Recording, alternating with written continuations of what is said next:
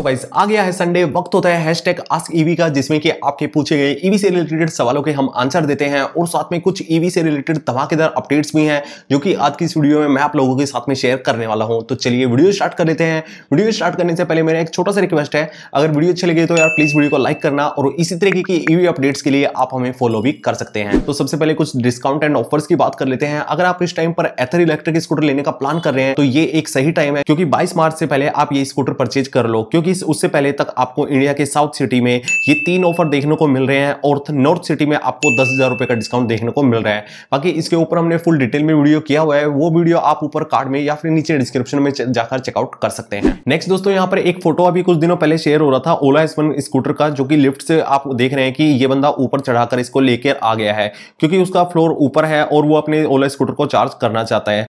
कैसे कैसे लोग रहते हैं यार यहाँ पर?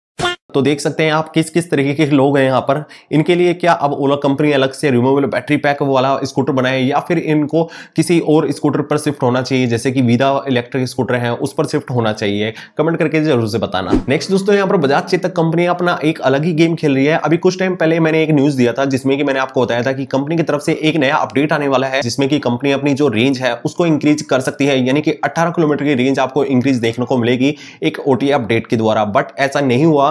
कंपनी यहाँ पर एक नया गेम खेल गई है। कंपनी ने पुराने कस्टमर को बिल्कुल भी ये अपडेट नहीं देने वाली और वो अपने एक नए मॉडल यानी कि प्रीमियम एडिशन एक 2023 उन्होंने नया लॉन्च कर दिया है, जो कि डेढ़ लाख रुपए के आसपास में है, जो कि काफ़ी ज़्यादा ओवर प्राइस है। बाकी आप लोगों की क्या राय इस बारे में कमेंट करके ज़रूर से बताना। नेक्स्ट दोस्तों टाटा टियागो के कॉम्पिटिशन में यहाँ पर सिट्रोन कंपनी ने अपनी सी इलेक्ट्रिक कार को लॉन्च कर दिया है, जिसकी स्टार्टिंग प्राइस साढ़े ग्यारह लाख रुपए है, जो कि एक्स शोरूम प्राइस है।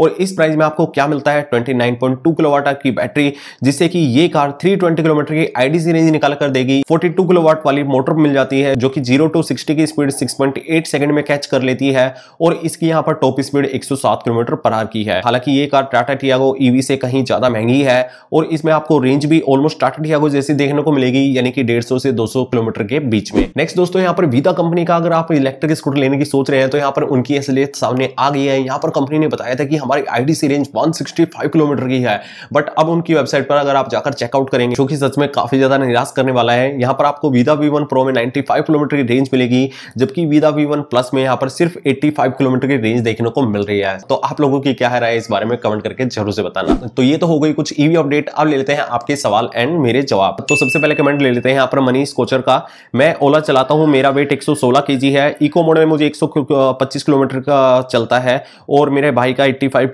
वेट है, वो एक किलोमीटर चला लेता है। कम रेंज दो, सस्ते में तो काफ़ी स्कूटी है। तो यहाँ पर ये बात सच है कि सस्ते में हमें काफ़ी सारी स्कूटी देखने को मिल जाती है बट अगर हमें एक सस्ते में अच्छी रेंज देखने को मिले तो काफ़ी अच्छी बात होगी। यहाँ पर एथर इलेक्ट्रिक स्कूटर के बारे में बोल रहे हैं, जो कि एक सस्ता इलेक्ट्रिक स्कूटर अभी आने वाला है। बाकी देखते हैं कि एथर इलेक्ट्रिक स्कूटर इतना सस्ता तो लॉन्च नहीं करेगा, क्योंकि वो ऑलरेडी अपना जो अभी प्रेजेंट इलेक्ट्रिक स्कूटर है, वो भी एक लाख रुपए के आसपास में आपको देखने को मिलता है। यहाँ पर एक और कमेंट ले लेते हैं एसटी की बुकिंग कब चालू होगी? तो यहाँ पर टीवीएस आईक्यूब एस की पूछ रहे हैं तो टीवीएस आईक्यूब एस की बुकिंग भाई चालू नहीं होने वाली, क्योंकि अभी टीवीएस आईक्यूब अपने पुराने कस्टमर का ही बखेड़ा ठीक नहीं कर रही है, उन्होंने काफ़ी ज़्यादा प्रॉब्लम क्रिएट कर रखी है सभी कस्टमर्स के लिए।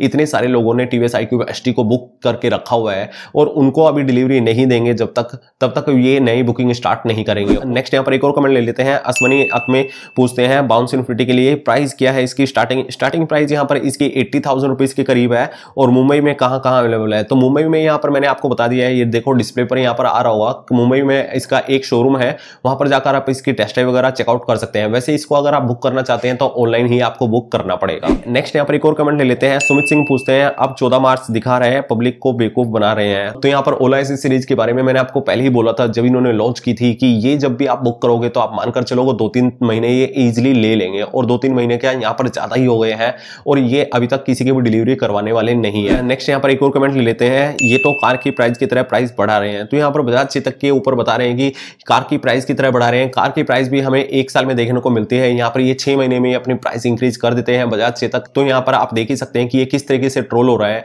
बजाज चेतक अपनी प्राइस काफ़ी ज़्यादा इंक्रीज किए जा रहा है। नेक्स्ट यहाँ पर हमने वीदा इलेक्ट्रिक स्कूटर की जो एक्चुअल रेंज का एक पोस्ट डाला था, उसमें यहाँ पर लिखा है ऑल टाइम विनर ओला तो अब ओला ही विनर हो चुकी है, क्योंकि सभी इलेक्ट्रिक स्कूटर आप देख रहे हैं, यहाँ पर वीदा इलेक्ट्रिक स्कूटर एक नया आया था, इन्होंने इनकी जो रेंज है, वो अंडर हंड्रेड किलोमीटर के मिल रही है, वो भी इतनी महँगी कॉस्ट के बाद में। तो यहाँ पर सिर्फ़ अब ओला एस वन प्रो ही बची है, जो कि एक लाख चालीस हज़ार रुपए की पड़ती है और उसमें हमें 130 किलोमीटर के आसपास में रेंज देखने को मिल रही है, जो कि काफ़ी अच्छी रेंज है, अगर देखा जाए तो और सभी इलेक्ट्रिक स्कूटर से। बाकी अभी एक रह जाती है सिंपल वन उसका देखते हैं कि उसके बाद में क्या होता है। नेक्स्ट कमेंट ले लेते हैं, यहाँ पर अर्पित सेठी पूछते हैं, भाई इंश्योरेंस क्लेम में डीएल ना हो तो क्लेम नहीं होगा क्या? तो बिल्कुल भी नहीं होगा। अगर डीएल डीएल आपके पास नहीं है तो बिल्कुल भी क्लेम नहीं मिलेगा, क्योंकि क्लेम तभी मिलता है जब कोई सामने पर्सन होगा। जब आप ड्राइव कर रहे होते हैं, अगर ड्राइव कर रहे हैं तो ड्राइव के साथ में आपके पास डीएल भी होना चाहिए तो डीएल लगेगा, तभी आपको क्लेम मिलेगा। तो ये थे दोस्तों ओवरऑल आपके पूछे गए ईवी से रिलेटेड सवाल। बाकी आप लोगों के कोई भी सवाल हो, सुझाव हो तो आप भी हमें नीचे हैश टैग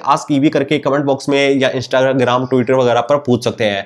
बाकी दोस्तों, वीडियो अच्छी लगी हो तो यार प्लीज़ वीडियो को लाइक कर देना। मैं मिलता हूँ आपसे कोई ऐसी नई वीडियो में, तब तक ले stay safe and safe right